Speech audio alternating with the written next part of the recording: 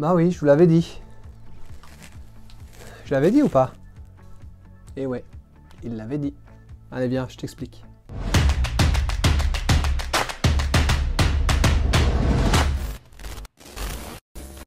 Salut, j'espère que tu vas bien et bienvenue sur la chaîne. Pour ceux qui ne connaissent pas, moi c'est R Cédric et ici on échange des trucs et astuces sur les véhicules radiocommandés.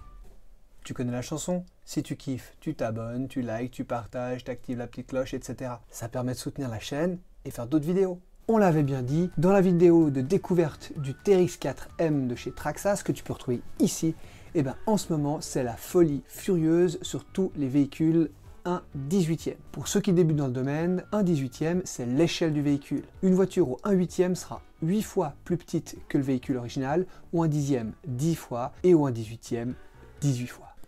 Donc si je comprends bien, plus le chiffre est grand, plus le véhicule est petit. Effectivement, parce que c'est 1 divisé par ce chiffre.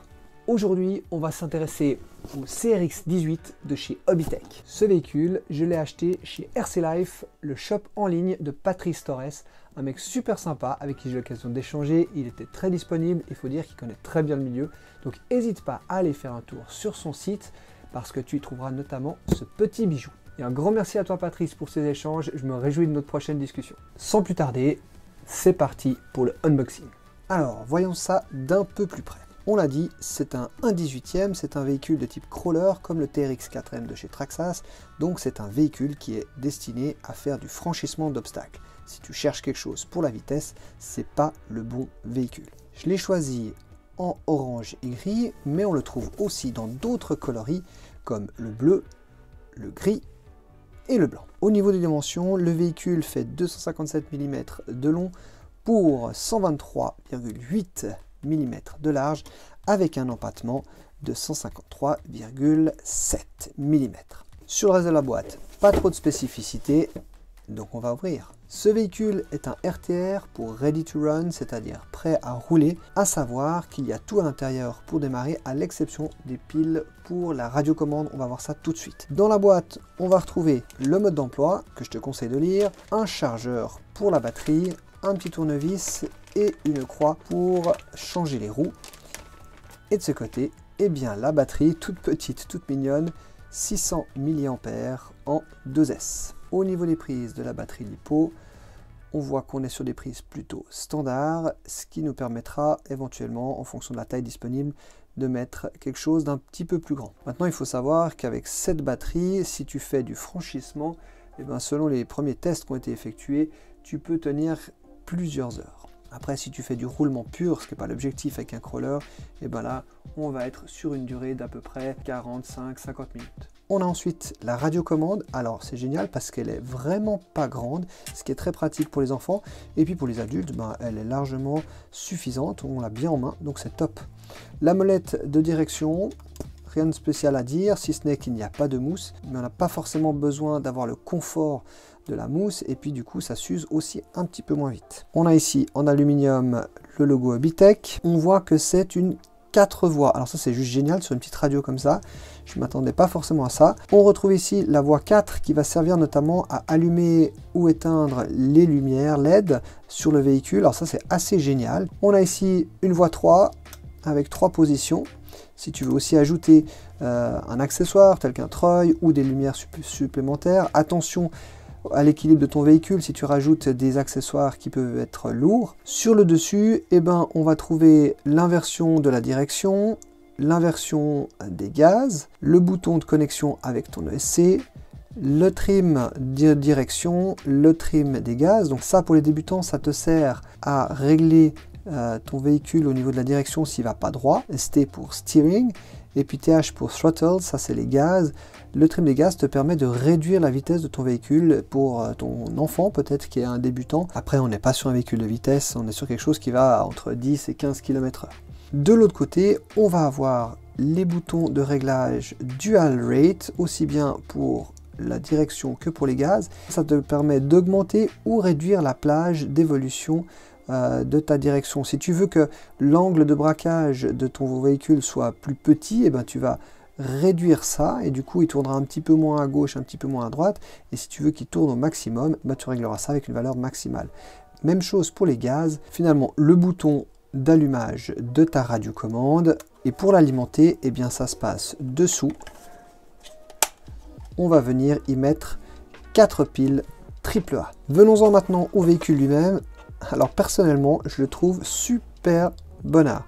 Franchement, il a un chouette look peu agressif comme ça. La couleur, elle va super bien en orange, c'est vraiment sympa. Au niveau du poids, ben, il fait quand même son petit poids pour un 18ème, c'est très bien. Franchement, une belle première impression. Au niveau de la qualité, on n'a pas trop l'impression d'avoir affaire à du, à du plastoc cheap.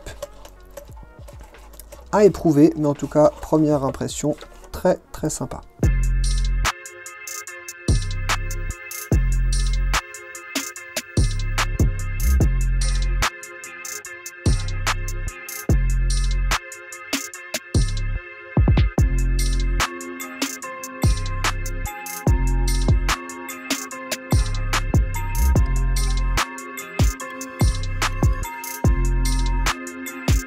La carrosserie, elle est fixée par quatre petites goupilles. un petit conseil, mets toujours des serre-fils riselants euh, pour pouvoir faire une boucle et ainsi les choper plus facilement et aussi éviter de les perdre parce que c'est les goupilles en général qu'on perd en premier sur un véhicule, surtout quand on va faire euh, du tout-terrain à l'extérieur. Une fois qu'on a retiré les goupilles, eh ben, on peut enlever la carreau. Attention, parce que cette carreau, elle est reliée ici pour tout ce qui est des LED, des lumières. Donc si tu veux débrancher, pense à retirer le connecteur sur le récepteur. Cette carrosserie, comme ça, en l'état, elle pèse 65 grammes, donc ce qui est extrêmement léger. À l'intérieur, on va retrouver l'emplacement pour mettre la lipo, le connecteur de lipo. Au niveau des spécificités, on va avoir un ESC récepteur 2 en 1. Le cerveau, c'est un 1 kg à 3 fils, donc ça, ça devrait suffire normalement par rapport au poids du véhicule. Le moteur, quant à lui, c'est un moteur brossé de 55 dents, donc avec un couple qui devrait être suffisant pour du crawler. On est sur des amortisseurs à friction, pas hydraulique, peut-être ça c'est voir comment ça évolue avec le temps. Au niveau des pneus, on a un profil relativement agressif, donc ça c'est bien pour euh, mordre le sol. À l'intérieur, on va trouver de la mousse, ce qui va donner un petit peu de, ressort à ces pneus, à voir si ça a un rôle euh, négatif sur le grip, puisque le TRX4M de chez Traxxas, lui, n'a pas de mousse. On verra la différence quand on les comparera. Donc ici, tout le système de lien et de transmission est en plastique. On n'a pas besoin non plus d'avoir un truc ultra solide puisque le véhicule est léger. Ah, je suis surpris, les suspensions sont assez souples. Hein. À voir au comportement. Qu'est-ce qu'on a en termes de débattement? Voilà, c'est pas mal.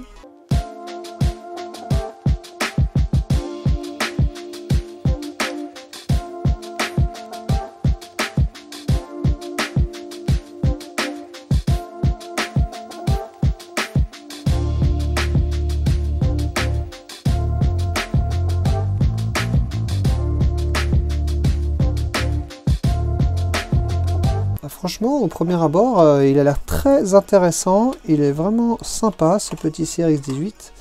Je me réjouis de l'essayer. Pour remettre la carreau, c'est pas impossible qu'on galère un peu parce que franchement, on a des toutes petites goupilles. Les orifices sont pas grands non plus.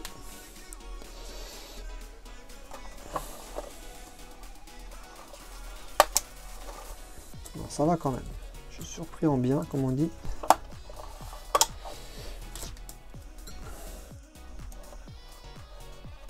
En Suisse, on a une expression qui dit « je suis déçu en bien ». Non, ça va. J'ai réussi à les mettre assez rapidement. Et c'est clair que si on a des trop grosses paluches, on peut peut-être galérer un peu. Alors, en termes d'amortisseur, c'est clair qu'on a un véhicule qui, qui rebondit un peu. On ne peut pas demander à des amortisseurs à friction d'avoir le même rendement que des amortisseurs hydrauliques, ça c'est sûr.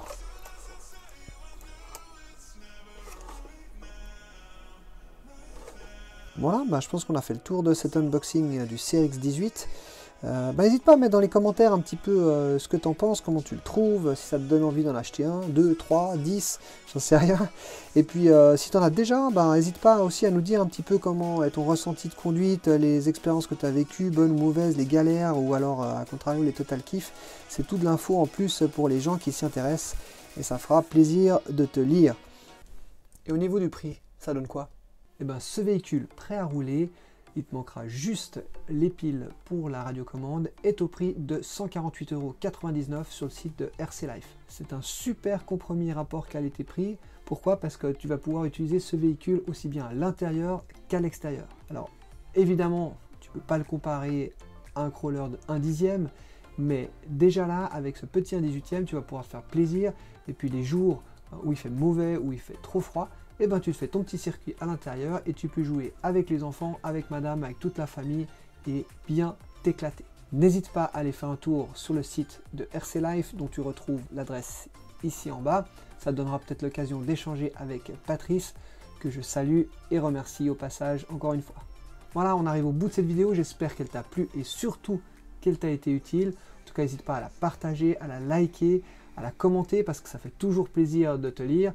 Et puis si tu n'es pas déjà abonné, eh ben, clique ici, ça te permettra de le faire pour soutenir la chaîne et me permettre de faire encore plus de vidéos. D'ici là, moi je te dis à bientôt. Ciao